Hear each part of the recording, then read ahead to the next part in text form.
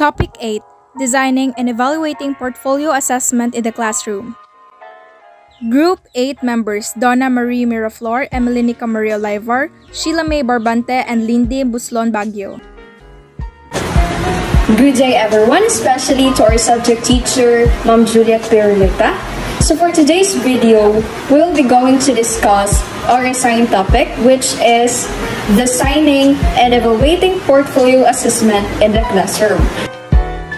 Before we proceed to the discussion proper, allow me to read first the intended learning outcomes. So at the end of the chapter, you should be able to first, develop portfolio assessment, and second, evaluate portfolio assessment utilized in the classroom.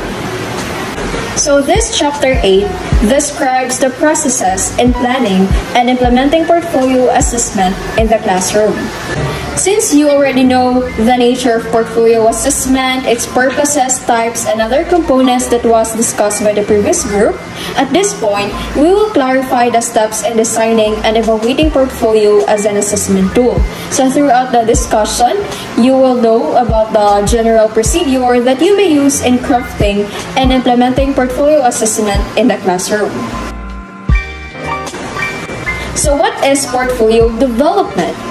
or what comes up to your mind if you hear these terms. So I know most of the people, if they hear the word portfolio, there are many different images comes up to their minds. So others may think compiling their works for review. For teachers, often it contains gathered samples of their lesson plans or documents that reflect their knowledge and skills. So if we talk about portfolio development, this requires the learners to collect and integrate examples of their work and allows the teachers to assess their learners as well. So this portfolio provides multiple ways of assessing students' learning over time. So this assessment tool provides opportunities for both the learners and teachers to better understand the educational process in a wider perspective. So in designing portfolio assessment, it requires some advanced and careful planning. So it begins with a clear idea about the purpose of the assessment. So in developing portfolio assessment, we have here some steps that we need to know because this will be your guide or direction if you are tasked to make a portfolio assessment.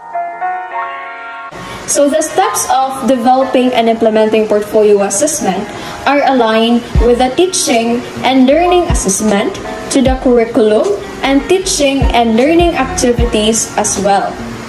The first step is you have to identify the overall purpose and focus. So the designs and use of portfolio must begin with a clear description of your purpose and focus. So in the first part of your portfolio, you can state there a short description about your purpose of having that portfolio or you have to state there who is the main highlight and focus of that portfolio.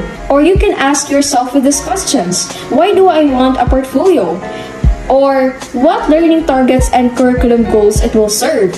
So with this, you can clearly identify why you want your students to create a portfolio. So here is a list of questions on how to prepare and use portfolio. So these questions are your guides. It can be your guide or direction in preparing to use portfolio. So here, number one, who will construct the portfolio. Number two, what type of portfolio do you want to use? So number three, what are the purposes and objectives of that portfolio? What categories of work samples should go into that portfolio? What criteria will students or groups use to select their interests? Who will develop the rubrics to assess and evaluate the portfolios? So portfolios will not only be used to assess understanding, but it is also ideal for assessing product, skill, and reasoning targets. So this is especially true for multidimensional skills such as writing, reading, and problem solving that are continually improved and demonstrated through products. So with extensive self-reflection, critical thinking, these are two important targets. And also students develop metacognitive and decision-making skills. So as with other performance assessments according to McMillan 2007, portfolios generally are not very efficient for assessing knowledge targets. So why is it? So the reason behind this is that we have to distinguish between learning targets for individual work samples and the content of the portfolio as a whole. So these targets that reflect all content tends to be broader and general. So in the present K-12 curriculum, they provide learning targets which need to be achieved in the form of content and performance standards. So the nature of using portfolio assessment is based from the importance and focus of the learning targets. So it necessitates that portfolio matches with the learning standards and goals. So here is an example of assessing reading skills performance which shows alignment of teaching and learning goal, activities, and assessment tasks which includes portfolio evidence. So in the reading skills performance, we have here the goal, the sample classroom activity, the portfolio evidence, and assessment tool. So in the first part, we have here in a goal, for example, the code. So it includes the basic reading skills for beginning or weak readers. So for the sample classroom activity, we have to read simple text. In the portfolio evidence, we have here word bank that includes the list of words mastered, selected text, I can read, completed, reading tasks. So for the assessment tools, we have here individual progress report, peer complement, self-peer assessment, checklist, and reading skills. The next step is we have to identify the physical structure. So once the purpose and targets have been clarified, we need to think of the physical structure of the portfolio. So here are some practical questions that affect the successful use of portfolio in your classroom. So first, what it will look like. Second, we have here, where will the students place the outputs? What type of container is appropriate? Do they need file folders, clear book, plastic bins? How are the materials to be organized? Is it categorically, numerically, alphabetically, by subject area, or in other ways? And where can students store the portfolios for easy access? So let us remember if students cannot manage and access their materials effectively, they will become discouraged. So you may need your original intentions based on the answer to practical considerations. So the choices of products and work outputs influence students on what to include in their portfolio. Hello, my name is Linian Piastravagio from Ed Admin. So for today, I'm going to tackle the appropriate organization and sources of questions. The content of portfolio consists of entries, the student products, and activity records, which provides assessment information about the content and processes identified in the dimensions to be assessed. These naturally are artifacts which are derived from the different learning activities.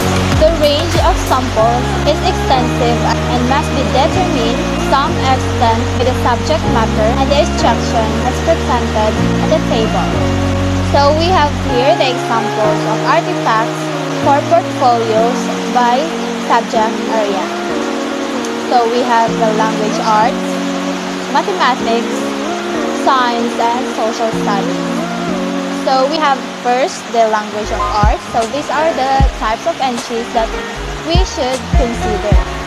We have the favorite poems, songs, and letters. So it belongs to language arts. Finish samples of different writing genres, persuasive letters, poetry, information stories. Literature extensions. We have scripts for drama, visual arts, webs, charts, timelines, and murals. We have also the audio tape of readings, notes from individual reading and research, writing responses that illustrate critical and creative thinking, writing responses literacy components, which are plot, setting, point of view, character development, links to life, and theme criticism. Items with evidence of style, organization, and voice clarity. And lastly, the evidence of effort, first drafts, second drafts, and the finished drafts. And now we have the entries of mathematics. The first one is the solution to open-ended question. Graphs and histograms, geometric shapes, examples of perimeter, area, area, and cubic space. Problem made up by students to display a concept. Models, photo showing use of manipulatives. Written discussion of mathematical concepts, statistical manipulation of data, description of mathematical concepts found in the physical world. Lastly, the paper showing correction to mathematical errors. Let's move forward to the science.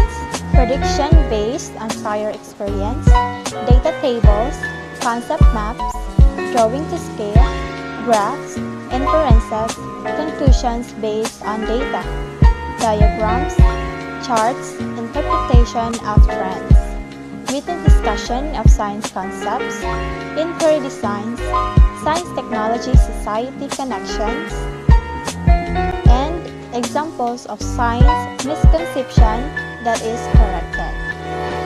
We have now the interest of social studies, written descriptions of the different cultures, institutions, and professions, discussion of equality, justice, democracy, freedom, rights, and other large social concepts, drawing of artifacts, timelines, examples of constitutions and civic responsibilities, position paper on a social issue, investigation of a social issue, family shield and explanations of symbols, and lastly, the proposal to respond to a social problem. In other words, portfolio is is a place where we can store or put our assessment information. Select the organizational entries of portfolio that will allow the students to meet the purpose of portfolio. So according to McMillan 2017, he pointed out to use work samples that capitalize advantages of portfolios such as flexibility, individuality, and authenticity. The categories or types of entries should consider the content and process dimension it will assess and the minimum and maximum number of entries per category. This often means giving students choices and potentials on what they want to include in their portfolio at the same time that instructional activities are developed. So let's move forward to another topic, student reflection guidelines. Reflection allows students to make sense of material or experience in relation to oneself, others, and the conditions that shape the material or experience. So before implementing your portfolio assessment plan, establish guidelines to help students self-reflect along the way. So below are the examples of questions which are helpful in determining student reflection. So the first question, describe the steps that you use to complete today's activity. Which steps really help you complete the activity and which ones were less useful? What would you change next time? So just the first question, it will help students to think critically and look back to what they have done and realize what changes must be done. Next, what personal strengths did you notice in completing today's work? What aspect of today's work was meaningful to you? And so on. So, with this, with this question, students will develop greater ownership of the process and will have experience in working collaboratively with you as their teacher. So that is all for my topic. For number 5, which is to identify and evaluate scoring criteria. By working on the student criteria, Students will develop greater ownership of the process and will have experience in working cooperatively and collaboratively with you as a teacher. As the facilitator of learning, you are responsible to ensure the reliability and high quality of scoring criteria. The student should be informed also on how you will evaluate their portfolios. Scoring criteria describe the quality of evidence at different levels of achievement for each performance indicator. Common scoring criteria are an essential component of a proficiency-based system of learning designed to promote equitable, challenging, and personalized outcomes for all students. The criteria identify the aspects of student performance that are assessed and or evaluated and they serve as a guide to what teachers look for. The example below shows example of math portfolio under content of problem solving. As you can see in the first picture, there is a content categories and questions that must be completed by the students. So these questions help to identify and evaluate students' idea or understanding in the topic questions. What is this content categories? Content categories is essentially an organizational structure to help you sort and distribute your content based on its nature. Obviously, from the word organization, meaning you will arrange this given content based on its nature. This is primarily a high level of view of your content and is meant to help you plan and execute your content. The second picture depicts a criteria for performance rating that must be completed by the teacher. This composed of a standard or principle of judging, evaluating, or selecting something. As you can see in the picture, there are four objectives of the criteria, which are the quality of reflection, mathematical knowledge, strategic knowledge, and communication. In every objective, there is a rating or the achievement level that indicate the level of performance of the students. As usual, 5 is the highest rating while 1 is the lowest rating. In every rating, there is a descriptor that uses to consider how students behave in specific relevant situations. That is why it is important for learners and teachers to identify and evaluate scoring criteria to achieve the standard with efficiency, develop ownership, and reliability.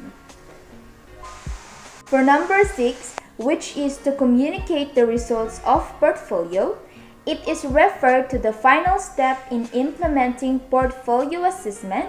It is to conduct a conference with each student to review its contents, the student's reflections, and assessments of the individual output. Portfolios can encourage students to take more ownership and responsibility over the learning process. In some schools, Portfolios are a way for students to critique and evaluate their own work and academic progress, often during the process of deciding what will be included in their portfolios. So here is a checklist for implementing and using portfolio. First, are the students knowledgeable about what a portfolio is and how it will be used? Second, those students know why portfolio are important. Third, are the students responsible for or involved in seeking the content? Fourth, is there a sufficient number of work samples but not too many? Fifth, is the table of contents included? Sixth, are specific self-evaluation questions provided? 7. Is the checklist of contents complete? 8. Are scoring criteria for individualized teacher written comments provided? 9. Are student teacher conferences included?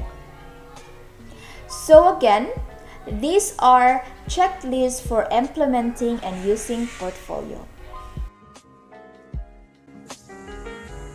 I am Ymmylyn and my topic is all about portfolio evaluation.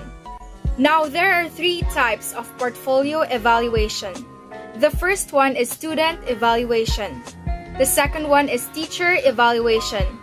And the third one is student-teacher conference. Let's talk about student evaluation. One advantage of portfolio assessment is allowing the students to revisit, reflect, and evaluate their own work. This allows them to practice critiquing and conceptualizing the quality of their work based on the criteria performance. Teacher as a model should be the first person to demonstrate the skills in evaluating and critiquing portfolio. Here are some questions that can be asked to facilitate student self-reflection for individual work, which give insights into how students have been reaching their learning targets. Why did you select this piece of writing? What did you learn from the selection? Can you identify your strengths and weaknesses? What problems have you encountered in doing the task? Which is the most satisfying experience? What are your insights after reading the poem? Is this your best work? What kind of work would you like to do in the future? Those questions will guide the students to constructing their self-reflection. The second one is the teacher evaluation. So what is teacher evaluation? The teacher can use numerical scores to summarize judgment or qualitative system. Scoring needs to be reliable and should not be affected by inconsistencies not related to the qualities being judged. The purpose of portfolio is to assess the students' outcomes of the instructional goals. The sample of entries are the indicators whether students have achieved their goals of instruction which are evaluated based on the portfolio's entire content. Structure and individual entries. The teacher is both the observer and the rater. The third, but not the least, is the student-teacher conference. The conference should be scheduled throughout the year which provides important link between the students and the teachers. Your students can be responsible for conducting the conference and this will serve as a motivating force for the learners to produce excellent portfolio in the future. So according to McMillan 2007, McMillan pointed out that students need to compare their reflections with your evaluations and make plans for subsequent work. Although weaknesses and areas for improvement need to be covered, emphasize students' progress and achievement as well. This also provides an excellent means of communicating with parents as a tripartite communication between the parents, teachers, and students Portfolio assessment provides framework for meaningful three-way discussion of a progress, achievement, and limitations. After the portfolios are complete, it is a good idea to have an exhibition of the portfolios and student-led parent-teacher conferences in which students present their portfolios to their parents. In this way, parents can appreciate their children on what they are working and it can also make them proud. Here is a checklist which can help you design and enhance your portfolio assessment program. A portfolio development checklist with the following guide questions. Number one, what purposes will your portfolio serve? Number two, what cognitive skills will be assessed by the individual entries? Number three, what dispositions do you want your entries to reflect? Number four, what criteria or rubrics will you use to judge the extent to which these skills position were selected, were achieved? Number five, in rating the portfolio as a whole, what things will you look for? Number six, what kind of scale will you construct to rate the overall portfolio? Number seven, how will you combine all ratings into final grade? Number eight, who will be involved in the planning process? Number 9. What content categories are included in your portfolio? Number 10. Will learners have a choice over content categories? Number 11, who decides what samples to include in each content area?